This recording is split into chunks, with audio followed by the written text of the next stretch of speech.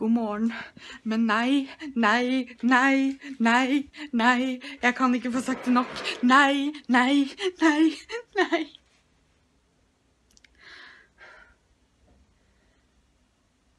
Det snør. I den form at det legger seg på bakken. Hva som skjer? Hva Altså eh, Nei! Altså, vi pleide ikke å få snø før i januar. Hva skjedde med det, da? Som du skjønner, det er ikke vi veldig fornøyd med. Eh, Guro har fortsatt ikke skifta til vinterdekk, for det skal, det skal vi gjøre i dag. Vi hadde liksom planlagt det. Kunne du ikke venta lite grann, da? Åh. Det har slutta å snø. Det er bra, Guro. It's super duper! Vi håper at det betyr at den snøen som nå har lagt forsvinner ganske kjapt. Men mest sannsynlig så forsvinner den ikke før vi må kjøre ut for å skifte dekk. Dagens frokost er havregrøt med banan og litt honning. Det her er så utrolig godt, og det er kjempelenge siden jeg har spist havregrøt nå. Eh, Så nå skal det bli veldig godt med grøt. Så mange bokser å åpne. Jeg og Guro ligger litt etter, som dere ser, med å åpne disse boksene, men vi er litt forvirra. For vi trodde Altså Se her. Vi har fra august, Mm. Det er vi som har drevet tulla. og så kommer nei, oktober. Å ja, så oktoberboksen var september. Ja, men Så det her er oktober? Å ja, det er fordi at vi har Ja, mest sannsynlig så er det her oktober, da. Ja, Da må vi forklare det i videoen, da. Men det er for at vi la jo den, når vi la ut den i oktober, så er jo det fordi at uh, vi hadde jo kledd oss ut og sånn. Det var derfor vi skrev Halloween-style. Jeg tenkte at det var noe med innholdet i boksen. Nei, men da kan det hende at innholdet i boks, at den boksen her, at det blir litt sånn halloween-lignende. Ja. For da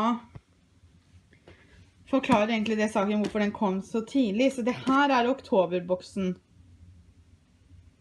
Men da bør du skrive det i du, og så skriver du septemberboksen i parentes bak i tittelen. Ja. Um, og så har vi veggisboksen. Det er den første dere kommer til å se. Jeg må få henta glossyboksen min, og mamma har en glossyboks, så vi skal filme og åpne den sammen med henne i dag. Den kommer da til mandagen. Uh, den blir ekstra i morgen, så dere får se veggisboksen allerede i morgen. Og så kommer da munchpacken en dag til uka, den også. Jeg lurer på om jeg skal bytte glosseboksen i morgen og veggisboksen til mandag. Nei, for veggisboksen er jo den vi skulle hatt først. Ja, for det er jo, det er, den er jo forsinka for forrige måned. Ja. Stemmer. Så den må ut først. Og så kommer glosseboksene til mandag.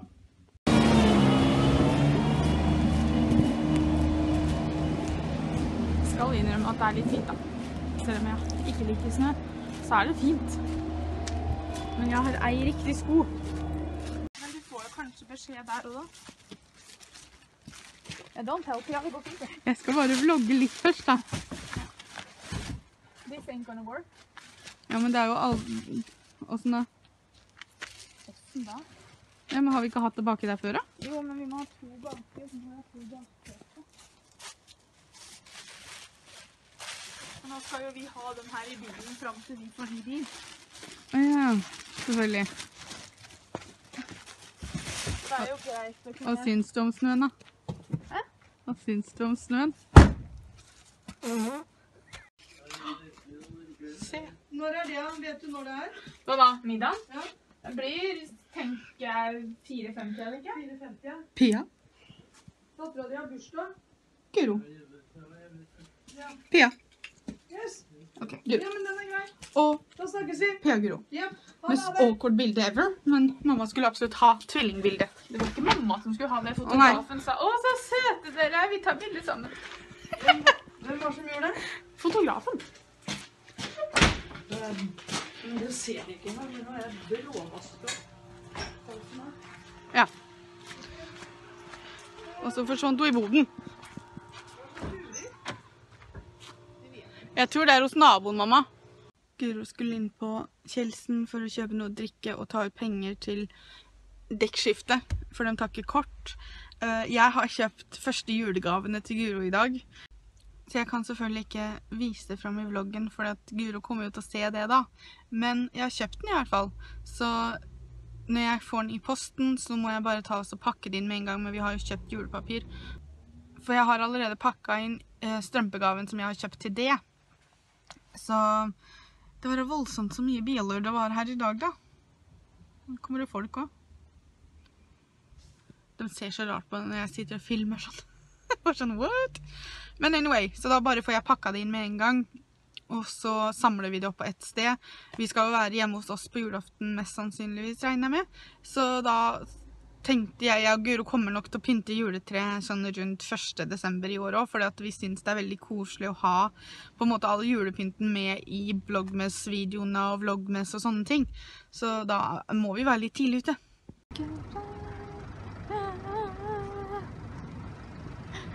Jeg synger for å holde lungene mine varme. Fryser du? Yes. Og så sveier jeg. Nei da, det er veldig kaldt. Det er veldig kaldt. Men det er vinteren, det er snø. Mhm. Jeg har ikke lagt så mye på bakken da. Jeg vlogga i stad og sa at jeg syntes det var fint. Og det er fint, men det er allikevel. Jeg tror kanskje jeg må finne fram vinterskoene mine, for joggesko nå er ikke helt bra. Som alltid så er vi strålende fornøyd med eh, dekkskiftet. Eh, det er så veldig greit å slippe å gjøre det sjøl. Guro har lært en gang da hun fikk Kenneth til å lære det Var det år før du ble operert? Ja. Nei, det var jo Nei, det var når jeg bytta til vind... Nei, det var når jeg bytta til sommerdekk eh, før Ja, det var ganske rett før jeg skulle opereres, det tror jeg. Ja. Eh, så ville hun lære åssen vi skulle gjøre det i tilfelle, man, men vi har jo ikke gjort det siden. Nei, men det, hvorfor jeg ville lære, var jo fordi at Ikke nødvendigvis fordi at du skulle skifte dekk. Men sånn, det var Men det var så jeg skulle vite hvordan jeg gjorde det hvis jeg skulle punktert langs veien eller noe sånt. Ja. Men altså, hvis vi hadde punktert langs veien, så hadde vi jo ringt Kenneth. Altså, jeg hadde ringt noen, ja. vi Jeg hadde hadde ringt ikke, Kenneth eller Robin og bare 'hjelp oss'! jeg hadde ikke, jeg hadde ikke gjort det sjøl, det er sant det, men jeg kunne ha gjort det. For eksempel da, hvis vi hadde punktert på Damer i nød! På roadtrippen, liksom. Ja, det er sant. Da kunne vi ikke ringt Kenneth. så kunne jeg ikke ringt Kenneth eller Robin og sagt kan vi kjøre halvveis til Bergen? Altså, det går ikke. Nei. Men da hadde jeg visst åssen jeg skulle gjort det. Da hadde det tatt meg veldig, veldig lang tid. Det hadde så å si tatt oss hele uka, men Ja. uh, vi skulle da fått det til etter hvert. Hvis ikke jeg tar helt feil, så klarte ikke du å løsne de der boltene. Jo, noen av dem, men noen satt veldig hardt fast, så Ja. de fikk jeg ikke løsna.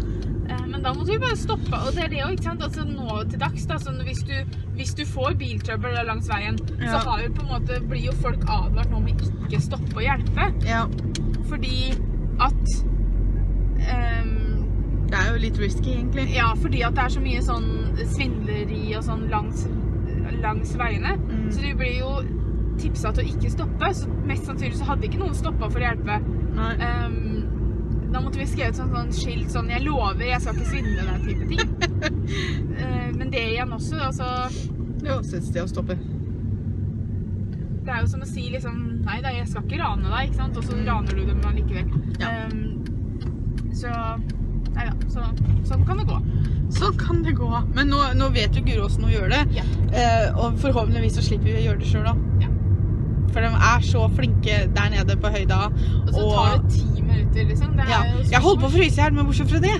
Det er jo ikke Oh, deres I går så sendte jeg melding eh, eh, For det er sånn hvis du sender glede til 2490, Mm. så gir du to måltider eh, til Ja, det er 80 kroner, er det ikke det? Jo, det gir 80 Mm. kroner, ja, men det er to måltider til noen som trenger det sånn i, i jula. Ja, for det, de oransje skjerfa. Ja. Ja, de er jo utover hele byen, og det er så utrolig bra. For jeg, jeg hadde Kirkens Bymisjon. Ja, jeg hadde tenkt å gjøre det, men, eh, men så eh, glemte jeg det fordi jeg var på vei til jobb når jeg så det. Eller så var jeg på jobb når jeg så det. Jeg husker ikke Nei, du hørte det på radioen, var det. Ok, Eh, Men så da var jeg jo på jobb, så da fikk jeg ikke gjort det. Men det er fint at du har gjort det, da. Jeg har gjort det. Så spre litt glede. Neste år så har jeg litt lyst til å finne en sånn en eller annen sånn veldedighetsting som vi kan kanskje involvere oss litt i sånn før jul. Men de har, vi har jo varmestua her. Ja, prøve å se om det er noe vi kan finne, altså noe som vi kan gjøre, da. Ja. For det har jeg litt lyst til. Man skal spre glede når man kan, folkens. Mm. Au. Sånn, ja. Pass deg nå. Skal jeg gjøre igjen? Ja, Ja. jeg blir helt svimmel. Det er det verste jeg vet, å stå med øya igjen. Altså, nei, nei, da. Det er ikke proteinball. Hva hva er det ikke er for noe proteinball? Ja, sånn- Å nei, fysj. Nei, nei, men det er ikke det. Grønnfôr. Lokk opp øya. Nei, Nei, ikke ikke lokk opp Lokk. Ja, jeg gjør det. Skal jeg lokke opp nå? Ja, så må du spise, da. Ja, men hva skal jeg Nei, det er kjempegodt. Jeg liker dem. Du må bare vente til det blir hørt på. Hull. Nå ble det hull. Er så pinglete sånn. Jeg måtte spytte ut, jeg klarte ikke. Nei, nå går det bra. Ja, det er Over det kjempegod. verste så går det bra. Ja, jeg syns den er kjempegod, men nå er ikke jeg noe problem med sure ting, da. Nei, men jo, han blir enda surere og surere og surere. Men um, han ba- Nei. Ja, men Hadde du ikke fått høl på den eller? Jo, Det er ikke noe ordentlig, det. Å, Fy faen, Bria, det var helt rett. Ah! Men Skal jeg skal klare det, jeg. Ja, men det kommer sånn, det kommer an på litt på hvor du har den på tunga. For hvis det der bak Ja. det er surt, da. Mm. Ja, gikk det. Ja. Gikk det. ja. Åh, så kommer han igjen. Altså, åh. Ja, men hvorfor er han sånn at han kommer og går? Jeg vet ikke. Mm. Ta litt Ultimo isteden, jeg. Ja. Vi driver og koker egg, for vi skal ha litt lunsj etterpå. Mm. Men nå skal vi da filme all the boxes sammen med mamma. Ja. Eller vi skal filme glossy box sammen med mamma og veggis box sammen med mamma. Nei, det, det er den, ja. ja det kan vi ta- se jo. Eple og Holdt på å si bananer. Sånn, ja. Nå fikk hun litt surt igjen, da. Lunsjen er ferdig. Uh, Guro har lagd, med, ta, lagd tacolompe med avokado, spinat, kokt egg og tomater. Mamma er her på lunsj i dag, så da blir hun kasta med på Takk, vegetar, Jøsses, så flott, da. vegetarvogna, Ja, som vi kaller det det. er spennende, det, vet du. Det blir Ja. noe helt nytt for meg. Så du har jo vært med på en middag òg. Hva spiste vi da? Hvorfor? Pasta. Pasta spiste vi da. Ja. Herregud. Da spiste vi pasta. Hukommelsen er på topp. Men det gjør ikke noe. Åssen skal du spise denne? Ja, det blir verre, det også. Det kommer til å tyte hit og ut og hit. Det var stor plass. Ja. Mamma har kjøpt seg sånn genser sånn som Guro kjøpte seg. Ja, ja, for at hun syntes han var så fin. Og den var veldig fin på deg. Ja, men den er, den er veldig fin. Ja. Og så er den ikke for varm, og så er den ikke... likte jeg for at jeg klarer ikke å ha på meg høyhalsa gensere. Jeg får helt fnatt, jeg jeg. elsker høyhalsgensere, så jeg har ikke noe problem Men sånne som sånn, sånn sånn, det her, Ja. det hadde gått for meg. For den er ikke sånn at han ligger inntil Nei, nei. eller for høyt opp. Og så er den ikke helt sånn. Nei, jeg likte, jeg likte genser. Pluss at Ja. man, har man brunfargen her. Da går det bra. Om sommeren så må du gå sånn, så får du fryktelig brune Ja, men da kommer jeg ja, få sånne... Ja. Uh, det skal jeg gjøre. Det ser... Guro, hvordan mener du at jeg skal klare å lokke den her, da? Ok, Så vi har nettopp lagd lunsj nå med spinat, men jeg har ikke brukt opp all spinaten. Så her kommer et tips, folkens, som jeg nettopp har funnet ut at funker. Da tar vi en sånn ziplock-bag-type ting. Kjøkkenpapir, eller du kan sikkert bruke en serviett også, for den saks skyld. Og så tar vi da restene av spinaten. Putter oppi i samme papiret, og så lukker vi igjen og passer på at lufta er ute. Og det som skjer da, er at den her vil holde seg mye friskere i kjøleskapet mye lenger. Fordi at hvis det blir noe fuktighet oppi her nå, så trekker papiret det til seg, og så holder spinaten seg sprø og god. I hvert fall tre dager ekstra enn det han ville gjort vanligvis. Gjelder det liksom vanlig salat og sånn nå, eller er det bare spinat dette gjelder? Man kan sikkert gjøre det med vanlig salat òg. Jeg har ikke prøvd det så mye ut, men det funker helt sikkert. Vi har nettopp åpna veggisboksen, og Mm. mamma vil gjerne smake på den her eh, Vegan Hero eh, Hazelnut Candy Bar. For den skulle, Hasselnøtt. den skulle Ny. Den skulle tydeligvis smake som firkløver, sa de. Firkløver er godt. Ja, Firkløver er godt, men jeg tror ikke du skal ha det som veldig, veldig... Men kan du bruke lengre tid, ja? Ja, jeg kan, men jeg gidder ikke. Den ser i hvert fall ut som sjokolade.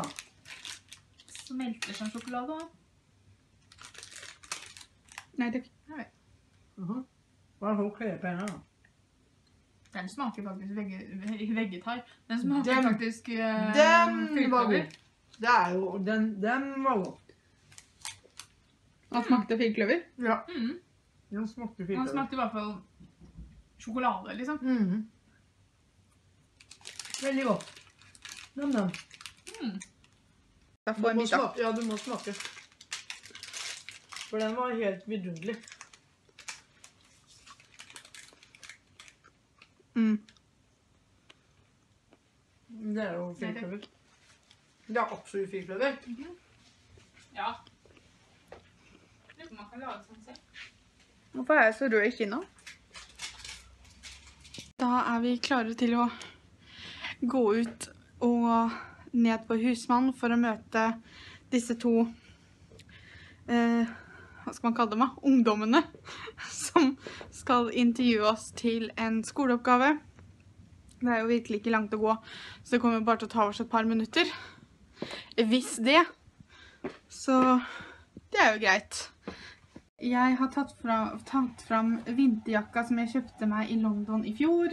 For nå begynner det å bli kaldt. Det er jo tross alt snødd i dag. Vi er på vei til Amfisenteret. Det ble litt forandring i planene på møtested.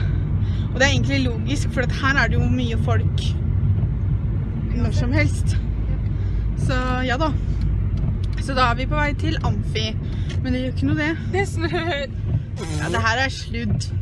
Ja, Det er men ikke snø. Det er hvitt, det som kommer ned. Ja, men det legger seg ikke på bakken som du ser, og da spiller det ikke noen rolle. Synes jeg i hvert fall. Nei. Jeg har så mye skjerf på meg at jeg ser ut som ikke jeg klarer å bevege på huet. Bare sånn, øt, øt. De er en sånn eh, hjemmelagd nakkesnø. Yes. Så vi skal få filma litt flere videoer i kveld. Vi skal blant annet filme oppsummeringa av eh, vegetar... Nei, vegetarianeruka. Tenk at han er overalt. Ikke i dag. Han er ikke over riktig enda, men etter middagen i dag så er han jo over. Sånn sett. Så da skal vi filme oppsummeringa av det.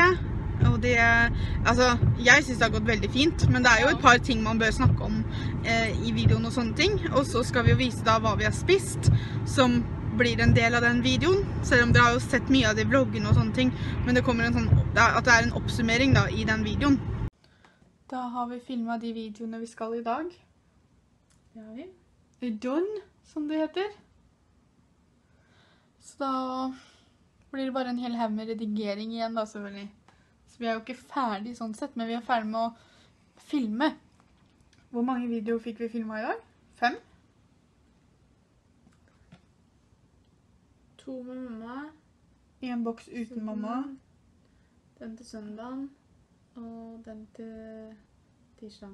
Ja, fem. Fem? Det er ikke verst, det. Nei da. Fem videos på en fredag? Ja.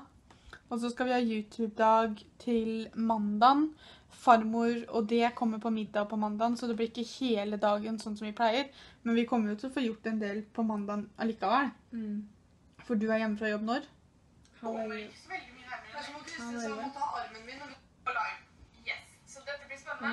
Det er en tastes, det.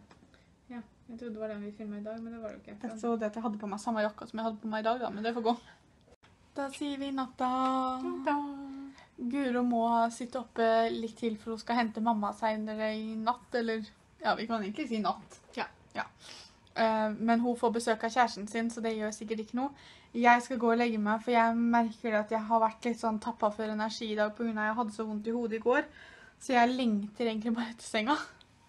Og jeg hører at senga roper på meg i tillegg.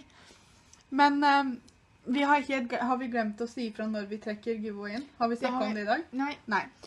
Mamma skal få lov til å trekke giveaway-vinneren på søndagen, for det er bursdagen hennes. Så vi annonserer da vinneren i vloggen på Instagram, Snapchat, Gobi, alt det greiene der som vanlig. Men vi tenkte det at mamma skulle få lov til å uh, trekke fordi at hun hadde bursdag. Så Hun har bursdag på søndag. ja. Så, ja, det er det jeg mente å si. Så da trekker vi vinneren på søndagen. Tusen takk til alle som har meldt seg på, for det har vært mange kommentarer, og det syns vi er kjempegøy. Tusen takk for at dere så på i dag, og så kommer vi tilbake sterkere igjen i morgen. Natta! Natta.